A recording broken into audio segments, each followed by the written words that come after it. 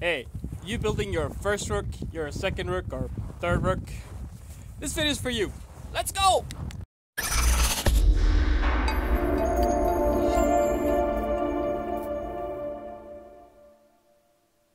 So I've built a lot of rooks, more than most.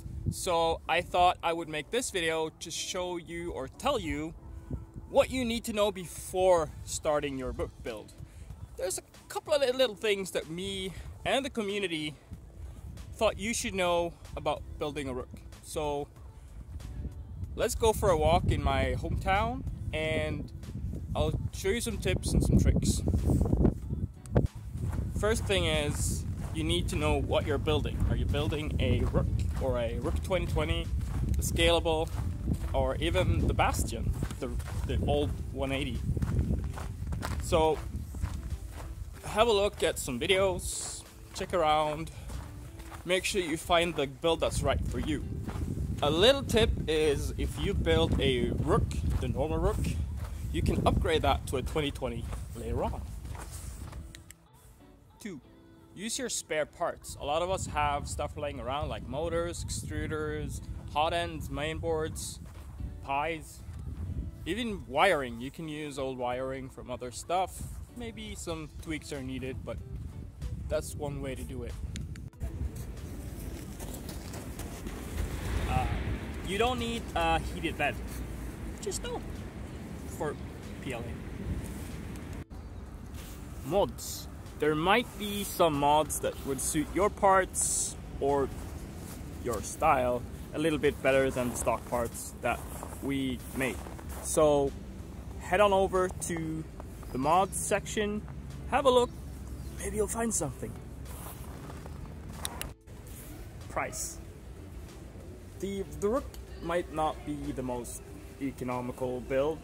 It's certainly not as cheap as an Ender 3 or, or other bed slingers like that. But it's not about the cost, it's about having fun, enjoying the process, building your own printer. It's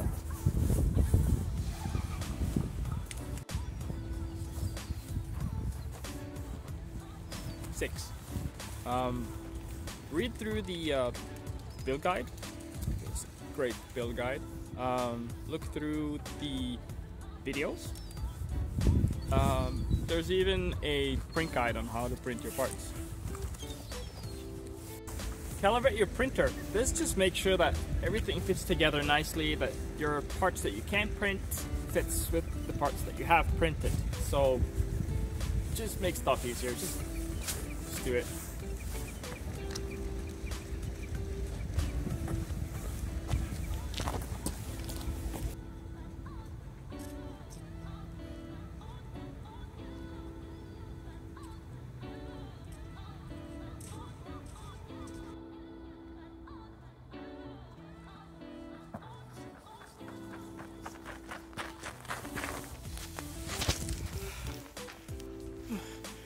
Uh, print all your parts. Uh, get your heat sets in, your nuts ready, make sure everything fits, and then start building.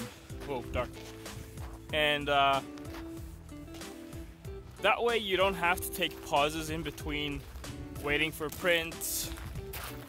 And uh, yeah, smoother, you know. We like a smooth build, don't I need to stop these. Whatever, next point. Fasteners. You can never have enough fasteners. Bolts, nuts, heat inserts, T-nuts. You know. No, seriously. You can never have enough fasteners. Plastic. Uh, PLA is probably the best and easiest thing to start off with. Uh, it's rigid, it, it just works. Doesn't handle heat very well, so if a heated bed, get ABS or ASA. Um, my personal favorite, carbon fiber PETG, super stiff. Hardware kits, good quality parts for a decent price. Can't really go wrong, can you?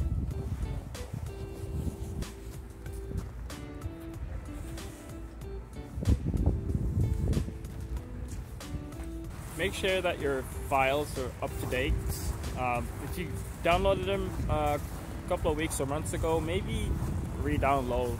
Uh, we do update them sometimes. This also applies for your mods. There may be changes uh, to your mod, maybe not, uh, but you might just save some hassle and just try it. Take your time. If you rush things, you make mistakes. Makes mis- making mistakes can have you reprint a part that takes hours, or even break things you need to order more and you have to wait. So just take your time. Um, saves you money and actually saves you time sometimes. Ask for help. You may not want to, but um, having someone there to help you, it sure does make those earlier mistakes that I talked about uh, less frequent. So, if you don't have anyone, go to our Discord or uh, just ask someone in the comments. Go to your favorite YouTube video, use that comment. You can ask for help, help anywhere. Wow, talking so hard.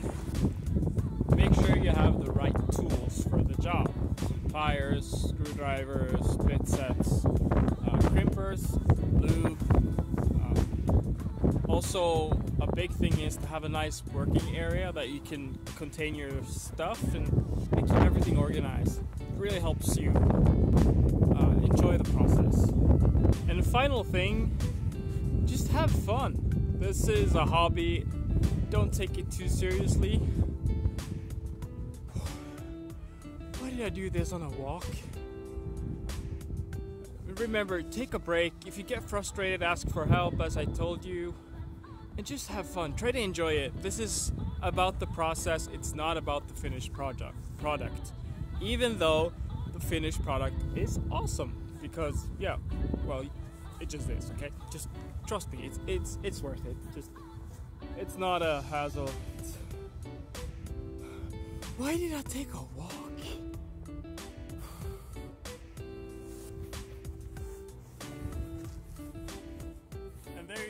That's my, I think, 16 things uh, to keep in mind. Uh, hope this helps you decide on whether to build a rook or not. Um, if you do, please uh, join us on Discord. We do really like to uh, keep up and, and, look at what you've done. And uh, yeah, I I need to get more in shape. This is this is hard. Anyway, uh, leave a like, share it if you uh, want to show someone about building a rook, and hit that subscribe button so that